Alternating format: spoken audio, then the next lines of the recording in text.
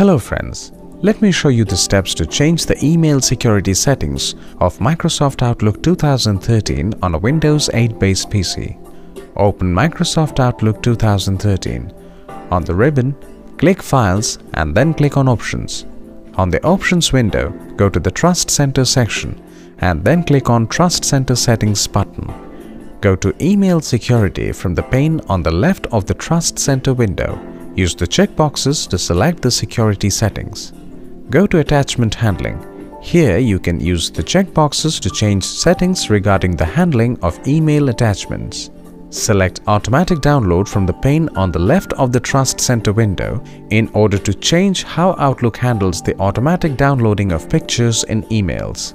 Click OK and then click OK again to save the changes. See, this wasn't hard at all. Thanks for watching.